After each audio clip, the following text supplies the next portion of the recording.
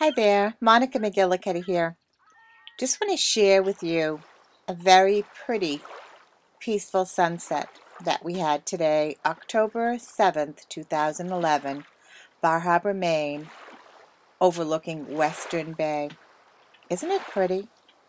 Did you see the seagull fly across? Hope you enjoy it as much as we have. Thanks for watching.